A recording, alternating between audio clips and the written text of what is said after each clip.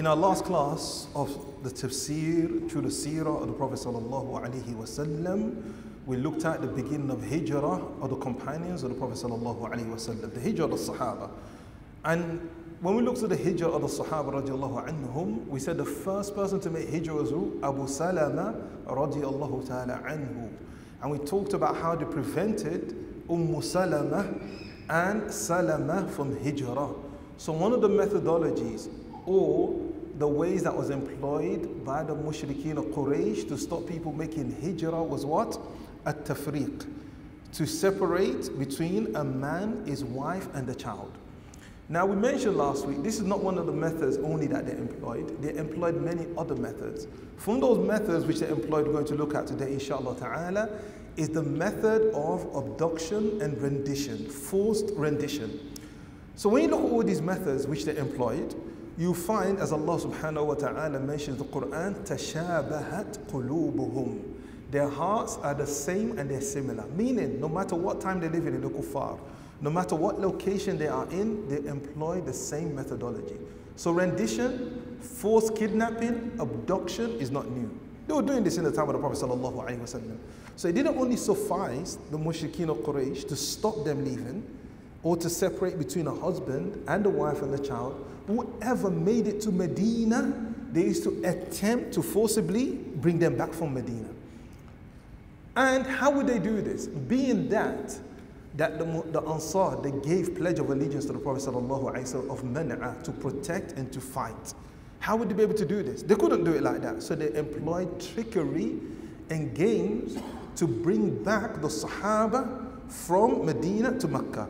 So Umar bin Khattab radiallahu ta'ala anhu, he mentioned this. So Umar bin Khattab radiallahu anhu, he mentioned or narrated the story of his hijrah and the ways of the mushrikeen in abduction. رضي الله عنه he said لما تعدت يعني لما أردنا الهجرة إلى المدينة أنا وعياش وابن أبي عياش ابن أبي ربيعة وهشام بن العاص بن وائل السهمي he said when we intended to make hijrah me and Ayyash ibn Abi Rabi'a and Hisham as-Suhami when we decided we're going to leave Mecca we're going to Medina for hijrah we're going to make the migration he said we all decided to meet at an appointed a place, appointed place. And he said this place was 10 miles outside Mecca. So they chose a specific place. And they chose that when they leave, they leave individually. Each one leaves by himself And they chose a specific time. So Umar radiallahu ta'ala an, he went on to say, that I said to them, that أينا لم يصبح عندها فقد حبس that whoever does not reach that appointed time in the morning, we have to be considered to be what? Hubisa, is being captured. If it doesn't reach, it's being captured. فَلْيَمْضِ صَاحِبَاهُ So therefore, if he comes to the morning, he's not there, we assume he's captured, and the other two, they continue upon their journey. Don't wait. We continue. So whoever doesn't reach there, we consider as being captured. So Umar radiallahu anh, he says, فَأَصْبَحْتُ أَنَا وَعَيَّاشِ Ibn Abi Rabi'a. He said, we reached there. Me and Ayyash ibn Rabi'ah. So what was missing? Hisham. He said, وَحُبِسَ And Hisham was captured. And what happened to him? وَفْتُتِنَا and they made fitna for him. What Waftutina here means they forced him to leave his religion. They forced him to leave the deen of Allah subhanahu wa ta'ala. So Umar went on to say, فَلَمَّا قَدِمْنَا الْمَدِينَ نَزَلْنَا فِي بَنِي عَمْرِ ibn بِقُبَى When we reach Medina, we'll reach the tribe of Banu Amr in Quba. He said, when we reached there, it wasn't over yet. وَخَرَجَ Abu Jahl ibn Hisham وَالْحَارِث ibn Hisham On their trousers who? Abu Jahl and Harith. But now they're in Medina. And they know the Ansar are known for their fighting and their bravery. They couldn't force them to go back. So they sent Abu Jahl and his, and his brother, who was Harith ibn Hisham. They sent these two brothers to who? To Ayyash. Why did they send these two people to Ayyash? Umar radiallahu anh, he said, وَكَانَ ابْنُ عَمِّهِمَا وَأَخَاهُمَا لِأُمِّهِمَا The Ayyash was their cousin of Abu Jahl and Harith. So they sent these two people to him, that these were his cousins. So they sent these people to him, and وَأَخَا uh, أخاهما لأمهما and he was a brother to them through their mother. How was he a brother to them through their mother? Through suckling. So this their cousin and they suckled from the same breast. So they sent them to Ayyash. So when they got to Ayyash, radiallahu ta'ala anhu, they said to him, and they tried to convince him to come back. But you know what they quote him on? They said, Inna ummaka qad nadarat alla tamus rasaha hatta tarak. Your mother is given another. She's given a vow, an oath, that she will never ever let the comb touch her hair until she sees you. And the Arabs, when they give an oath, they'll follow it in those days. They used to stick to those oaths. So therefore, when somebody gives an oath to do something, they'll definitely, most likely, they will do it. And this happened with another Sahabi radiallahu anhu. Who was this Sa'ad ibn Abu Waqqas? His mother said, if you do not leave the deen, I will continue to starve myself. I'll go on a hunger strike until you leave this deen. So she started one day, two days, three days, and they stick to this oath till she almost died. And the people came to Sa'ad ibn Waqqas, are you going to kill your own mother?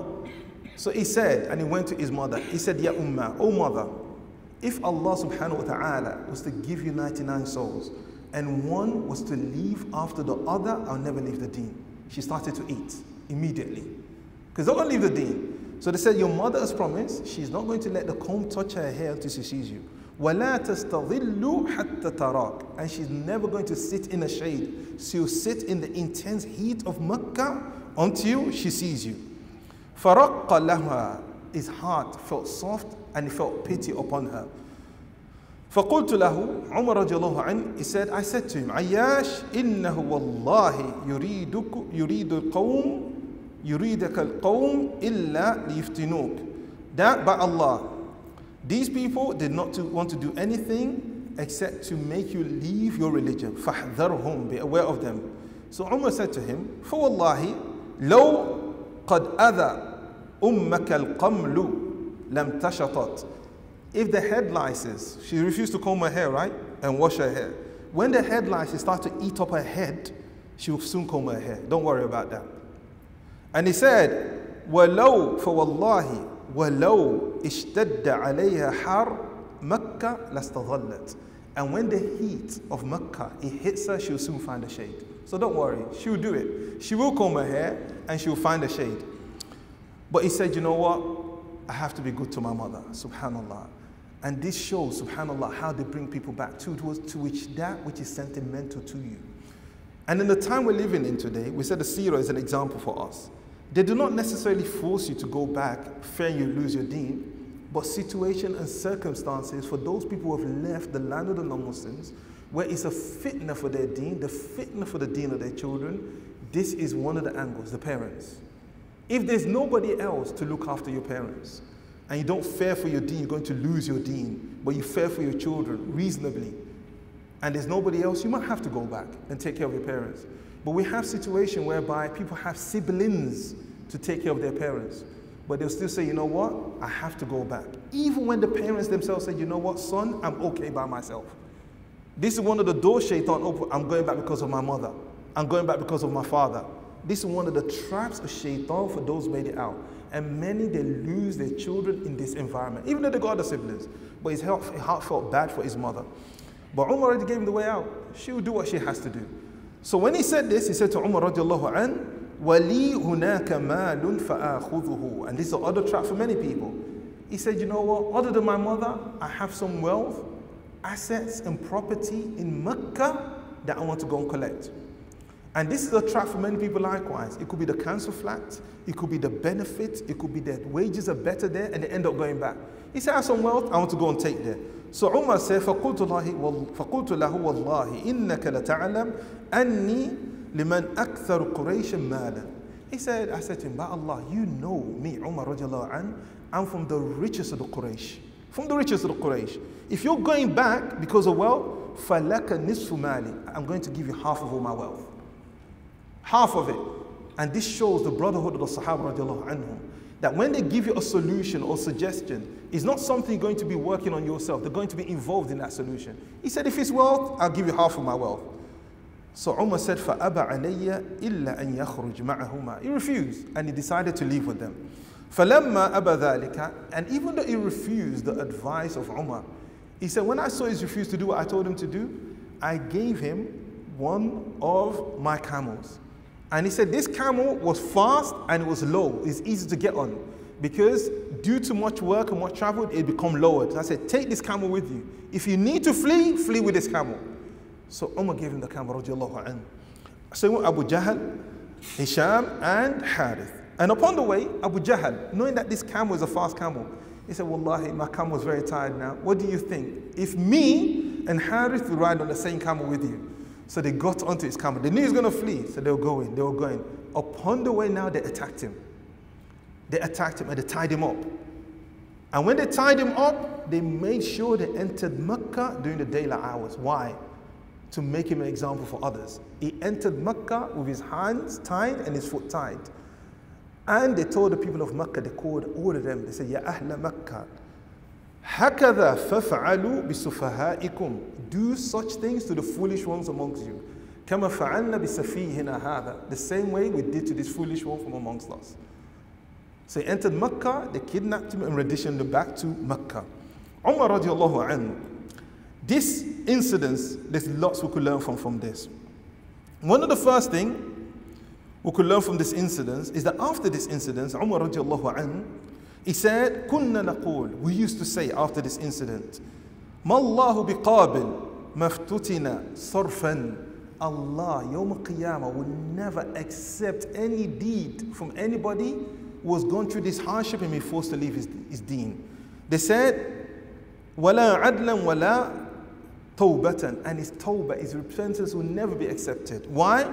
They say قوم عرفوا الله ثم رجعوا إلى الكفر. These are people they knew Allah and they went back to kufr to disbelief. Allah's not, not going to accept anything from them, not even no repentance. So Umar radiallahu an, he said we used to say that because they did this لِبَلَاءٍ أَصَابَهُم Due to some hardship they went through, they left the deen.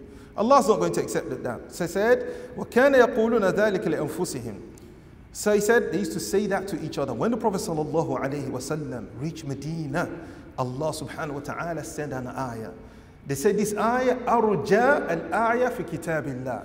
this verse is the verse which is arja. Arja in Arabic means what? Hope. And in Arabic you have something called ismu tafdil. That which is comparatively better. Yes, comparison. For example, Hassan is good. And better is ahsan. Fadl is what?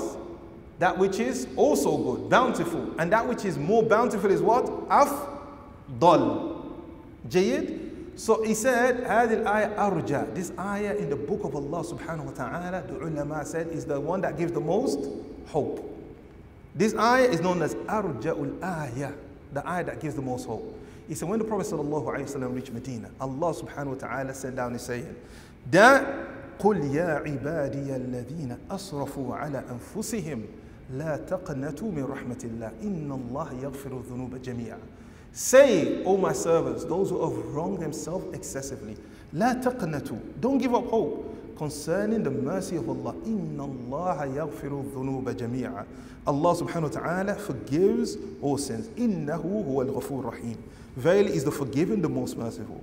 وأنيبوا إلى ربكم وأسلموا له من قبل أن يأتيكم العذاب ثم لا تنصرون and repent to Allah subhanahu wa ta'ala and submit to Allah subhanahu wa ta'ala before punishment comes to you you'll not be able to be aided and Allah ta'ala goes on to say وَاتَّبِعُوا أَحْسَنَ مَا أُنزِلَ إِلَيْكُمْ مِنْ رَبِّكُمْ and follow the best of that which has been sent down to you from your Lord مِنْ قَبْلِ أَنْ يَأْتِيَكُمُ الْعَذَابِ بَغْتَةً وَأَنْتُمْ لَا تَشْعُرُونَ before the punishment comes to you all of a sudden you do not perceive so this was sent down regarding these Sahabi radiallahu ta'ala an. So Umar radiallahu an, after this, he said, فَكَتَبْتُهَا He said, Umar, after this ayah came down, this is a person you've advised. He didn't listen to you.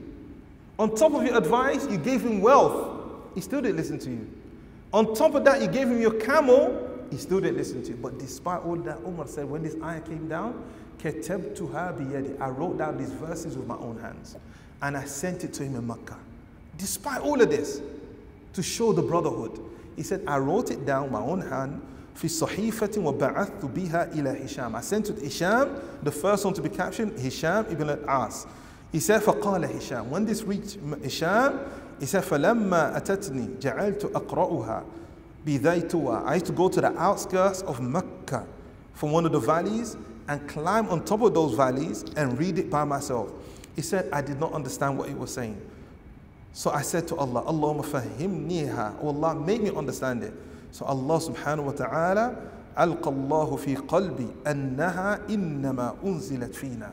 Allah made me understand that these verses were sent down concerning me and Ayyash. And after that, he made Tawbah and made it to Medina to the Prophet sallallahu alaihi wasallam. The lessons we could learn from this statement Umar radiallahu ta'ala an, or this incident with Umar radiallahu an, the first lesson we learn from this is this. That Umar radiallahu ta'ala an, although he had given his brother all of these advice, he didn't give up he kept advising him and he kept trying with him. So the previous surah which we looked at, that we spoke about was what? Surah 2? What surah? La, surah 2? Al-Asr. Surah Al-Asr. So when we look at the action of Umar radiallahu ta'ala anhu, we could see the practical implementation, implementation of Surah two, Al-Asr. How do we see this? The practical implementation of Surah Al-Asr in, the, in this incident of Umar radiallahu anhu.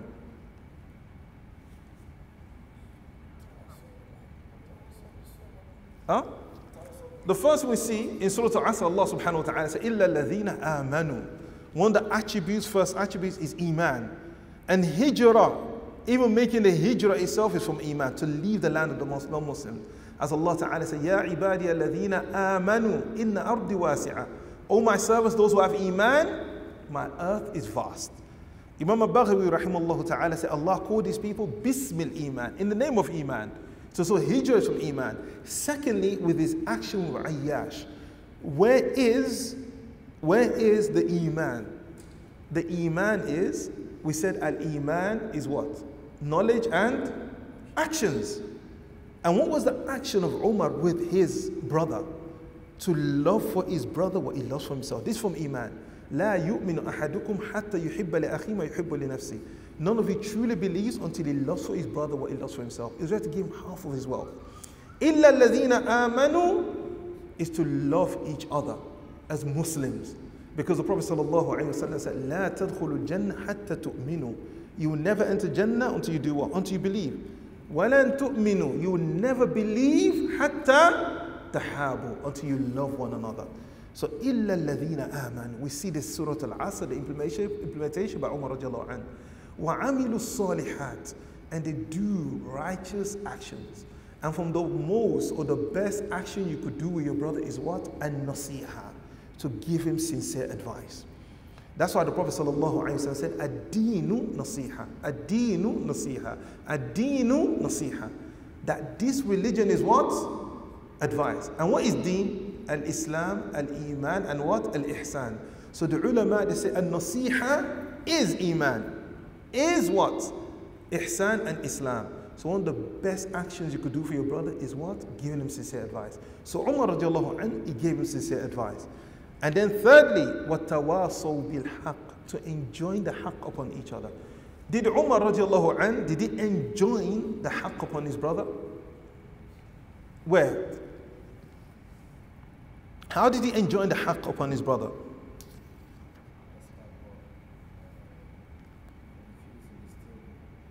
Mm-hmm. When he did what? Yes. Barakallah fi. That's the correct answer. Many people have said Umar enjoying the good on his brother when he advised him, do not go. When he was ready to give him half of his wealth. No. There's a difference between advising and enjoining. If Umar and enjoined upon him that do not go. He couldn't. Because in the tafsir of Surah Al-Asr, was said to bil haqq, to enjoin upon the haqq. What is the haqq? What Allah subhanahu wa ta'ala is revealed. But the opinion of Umar, he didn't take it personally, he didn't take my opinion. And this is how it should be. Despite he advised him, despite what he feared for him, but it was his what? It was his opinion. It wasn't revelation. So you've advised somebody, you've told him, and the thing ends up happening to them. You shouldn't be angry because it's what? It's not wahi, it's not revelation. So Umar radiallahu anh, he could not enjoin it upon him. What did he enjoin upon him? The ayah. Because this now is revelation and he sent it to them. So Umar radiallahu anh, tawasaw bil Haq, He enjoined this upon him. Wa tawasaw bil sabr. And he enjoined sabr. And where's the patient of Umar? In every single thing, in his iman, in advising his brother. That you're going for your mother, you don't need to. I'm going for wealth, you don't need to. In his actions with his brother, and in enjoining upon his brother with his eye by sending all the way to Mecca. So we see Surah Al-Asr in the action of Umar. And this is how the Sahaba anhum, they used to implement this surah in their life. So Umar will learn from this incident is patience, is calling to Allah subhanahu wa ta'ala and enjoining the good upon his brother. So this was the first way of the Quraysh, which is to abduct and forcibly rendition them back to Mecca. Now the second way was al-habs, to imprison them. So if you remember, when they came back with Ayyash, what did Abu Jahl tell the people of Mecca? هكذا فافعلوا بسفهائكم. What we've done now, do that to the foolish amongst you. So as soon as they came back to Mecca, abducted and rendition, the people of Mecca employed a new thing. Anybody they suspected was going to go for hijrah, they'll imprison them. Even if they haven't left, imprisonment. They'll make a wall and put them inside that wall. And the difference of those prisons was there was no roof on top of the walls. So they had to deal with the fitna, the tribulation of the loneliness of the prison and the heat of the sun. And they'll have their hands and their legs tied. So they'll tie them by the hands and legs so they couldn't flee. There will be guards, but a wall, a prison with a wall with the heat of Makkah. No, no, no, what's it called? No roof at all. And they'll place them there. So they'll place them like this. So this was the way of the people of Makkah, al-habsu. They'll imprison them. And in imprisoning them, these habs which they used to do, they imprisoned Hisham ibn al-As and also Ayyash. And they did this to every single one they thought was going to leave Mecca. However, despite this, many, many people, as we mentioned last week, left what? Left Mecca. And the only one that remained were the Mustada'afin and the Prophet وسلم, and Ali and Abu Bakr. These were the only people remaining in Mecca. The Prophet ﷺ, for those that remained in Mecca, بعد هجرته, after the hijrah of the Prophet ﷺ, he used to make dua for them. And this is something in the time we're living in today, that when we find Muslims in a land or in a place or country being persecuted for their deen and we cannot help them, the very least we could do is what? Ad-du'a. So it was said that the Prophet sallallahu alayhi yaqnut wa yad'u mustad'afin fi That it will make dua for all of the mustad'afin in Makkah, the weak Muslims in Makkah, amatan, generally, and the Prophet sallallahu alayhi wasallam li ba'dihim bi asma'ihim. And the Prophet sallallahu alaihi wasallam will mention some of them specifically. So for our brothers and our sisters, generally should make dua for them. And those you know specifically in the land of the non-Muslims, that either they're being tested in their religion or their children. For those of us from the West, for example, watching our children grow up, and we saw these kids as one, two. Now we're old, they're like 20, 20 something. And news comes to us that subhanAllah, such and such a person's child is in prison. Such and such a person's child has been stabbed. Such and such a person's child has been killed. Such and such a person's child has left the deen. And not only their children, such and such a person is not practicing. When we hear these things, our duty, generally pray for is to pray for them specifically. So the Prophet wasallam we pray for them specifically, mentioning their name. So he said the Prophet wasallam would say, in qunut, in the last raka'ah of witr, the Prophet wasallam would say that Allahumma anji Ayyash ibn Abi Rabi'a. Oh Allah, save Ayyash ibn Abi Rabi'a. The one that went back with who? Abu Jahl. He would say, the Prophet sallallahu alaihi wasallam, Allahumma anji Salama ibn Hisham. Oh Allah, please save Salama ibn Hisham. Allahumma anjil Walid ibn Walid. Oh Allah, save Walid ibn Walid. Allahumma anji mustad'afina min al-mu'mineen. Oh Allah, save the weak ones from the believers. And the Prophet wasallam, he never left off this issue. He didn't just suffice himself with dua. The Prophet wasallam, he called the Sahaba radiallahu and he said, Which one of you will help me in bringing back Ayyash and Hisham? So the Prophet, ﷺ, two other Sahaba, they volunteered to go on a covert operation, enter Mecca secretly, and do a rescue operation. Subhanallah. Now you wonder, these people are in prison. How are they going to get him out of the prison? How do you think they're going to get him out with locks, guards, and everything? How are they going to get him out? What was the mistake that the Quraysh made in torturing the Muslims? Huh? No, we mentioned it. They tortured them with open roof. So the Sahaba anhum, when they got there, they met a woman. I said, Where are you going? Said, I'm going to take food to them. Okay, just show us the place. They got there. And they climbed over and went in. And then they put what under their feet? Rocks. Because they shackled them. And they took their swords. And this rock was called Mirwa. Yes? So one of the Sahaba anhum became known Abu Mirwa because that rock. They struck it, struck it, took the chains off, put them on a camel, back to Medina. And they met the Prophet sallallahu alaihi wasallam. So it didn't just suffice to dua. Whatever he can do whilst it's within his capabilities, the Prophet wasallam, he did it. The other way of the Quraysh was uslub at-tajreed min al-mal, to freeze and to seize your assets. This is another way of the kuffar today. They seize your assets or they freeze your assets. So those of them that wanted to leave, like Suhaib ibn Sinan al-Namri. Have you ever heard young men of a Sahabi called Suhaib? Suhaib, the Sahabi radiallahu anhu. Yes, Salman. Suhaib, we normally know him as what? Suhaib al Barakallahu fi. Very good boy. May Allah increase you in knowledge, wisdom, and understanding. Suhaib al Rumi. So when many people are trying to talk about racism in Islam, they said the companions of the Prophet ﷺ made of different people. There was Suhaib al-Rumi, Suhaib the Roman. There was Bilal al-Habashi. But in reality, it was Bilal al-Habashi, Habashi. Was he an Ethiopian? lad? Nusiba ila ummi. It was attributed to his what? To his mother. His mother was Habashiyah. What was his father? Allahu A'lam. So this concept, popular misconception that Bilal radiallahu an was black is a wrong misconception. Bilal radiallahu an was never ever described as being black. By the Sahaba. Some others were, like Zayd ibn al-Haritha, Abu Dhar, Ali radiallahu an, Umar bin al-Khattab, had been very dark. Not black, very dark. Very, very dark. Because the Arab, when they say someone is aswad, it doesn't mean he's black like me and you. They refer to you as aswad. So the Prophet said, بُعِثْتُ إِلَى الْأَسْوَدِ وَالْأَحْمَرِ I've been sent to the black and the red. The red are who? The Europeans. They used to call them red. The Arabs, they say aswad. Aswad could be from anything to tan, olive skin, to very black. But when someone is very black, they say shadidul udma. Min Adam, very, very dark. So when they speak about Abu Dhar, they say shadidul udma. It was severely what? Black.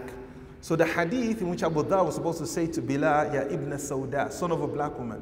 Sheikh al-Albani rahimahullah said this hadith number one is da'if. He didn't say the son of a black woman, he said the son of a foreign non-Arab woman, Ya ibn al-Ajamiyya. Because Bilal was not described as being what? Dark. Whereas Ali radiallahu and all of his brothers, and the brothers of Ibn Abbas, Fadl ibn Abbas, it was described as being what? Black. Another word for black like this is akhdar, green. So in the same way people boast about I'm black and proud, the Arabs used to do this in Jahiliyyah. One of the poetry of Fadl, the Prophet ibn Abbas, he said, Ana akhdar man ya'rifuni. Whoever knows me knows I'm truly akhdar, I'm truly black, I'm a black man. As some people like to say with their hands on chest, I'm a black man. So Suhaib al-Rumi, his name was Suhaib al-Namri, from the tribe of Namr. So why is he known as Suhaib al-Rumi? For those who speak about racism, there was a Roman. Suhaib was not a Roman. He was not a Roman. He was an Arab. Suhaib al-Rumi radiallahu ta'ala anhu was not a Roman. Suhaib al-Rumi was from a Namr.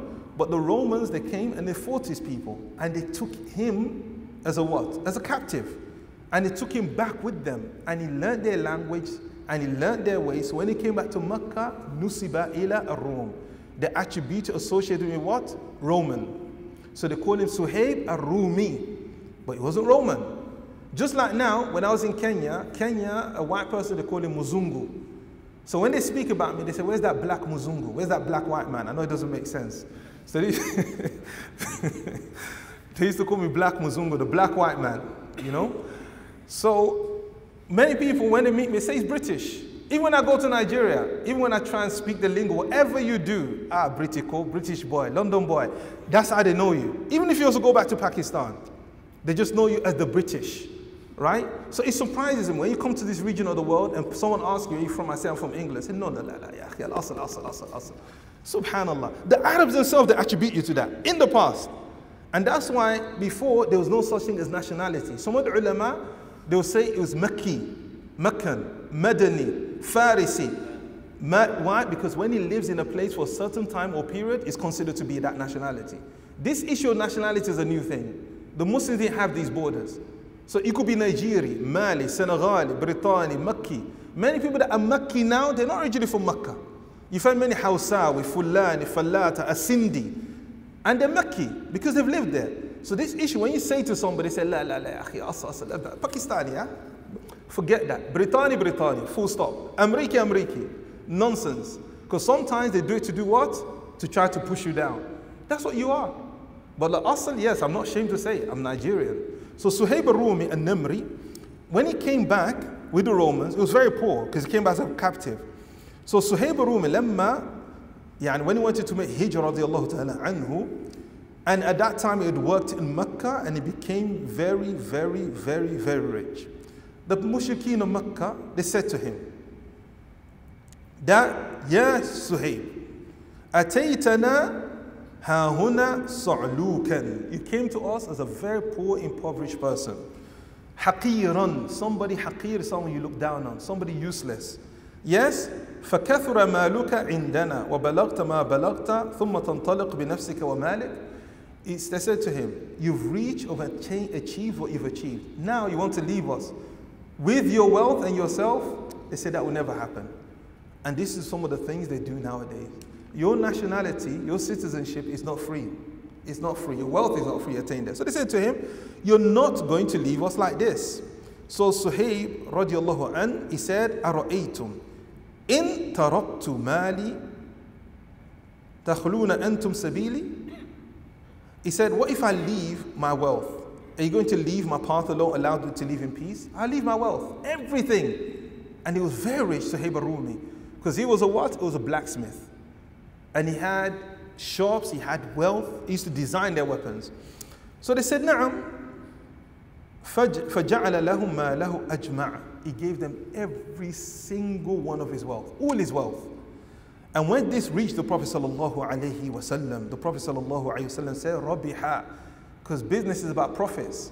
He said, "Rabiha Suhaib." Suhaib has really made a lot of profit here. He gave up all his wealth for what? For the sake of hijrah. He's made a lot of profit. So he left. فلما خرج السهيب سهيب الرومي when Suhaib left مهاجرا تبعه أهل مكة Then the people of Mecca they followed him and he knew they were going to follow him even though he gave them all of his wealth they still followed him because such people even when you give them everything you have they still believe you have what you have more so they followed him فنثل so Suhaib ibn Suhaib al-Rumi, Nathala, he went to, into his bag. And he already prepared himself as a blacksmith. He went to, into his bag, Suhaib al-Rumi, فَأَخْرَجَ مِنْهَا أَرْبَعِينَ سَهْمًا When he went to his bag, he took out 40 harrows from his bag. He was prepared. فقال لا تصلون إلي حتى أضع في كل رجل منكم سهما I know you're coming to me. You will never reach me until I've made sure, you see these 40 arrows? I've put it in each and every single man. 40. But they didn't come out as 40 only. And even if you have 40, you may miss some. So Suhaib al-Rumi, radiallahu an, he said to them, ثم أصير بعد ذلك إلى السيف فتعلموا فتعلمون أني رجل He said, you see when all these 40 hours are finished, أصير بعد ذلك إلى السيف فَتَعْلَمُونَ أَنِّي رَجُلٌ After they finish, I'll go to my sword. And at that point, you'll know I'm truly a man. But not to have to do all that with them, Suhaib al-Rumi, radiallahu ta'ala an, he said to them, لَقَدْ خَلَفْتُ بِمَكَّةِ قَيْنَتَيْنِ I've left in Mecca two maids or two female slaves. I've left that in Makkah. Yes? Fahuma lakum. The both of them, you could have them because he understood their mentality. They're not fighting for no cause. It's all what? Material. That's why they say those of those days and today, they don't have any what? Cause.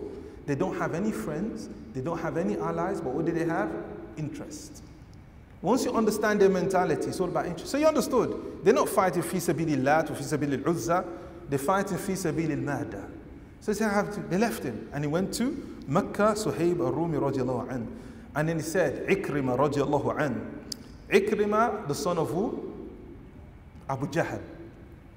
He said, after he did what he did, it was said that this ayah was sent down for Suhaib, and memory of Suhaib al-Rumi. The ayah in Surah Baqarah 207, where Allah subhanahu wa ta'ala says, وَمِنَ النَّاسِ مَنْ يَشْرِي النَّفْسَ بِتِغَاءَ مَرْضَاتِ اللَّهِ وَاللَّهُ رَفُوءٌ بِالْعِبَادِ For mankind are those who trade themselves seeking what? The pleasure of Allah subhanahu wa ta'ala. So Suhaib al-Rumi radiallahu ta'ala and he knew how corrupted their mind was. They're only after what? Wealth and materialistic thing.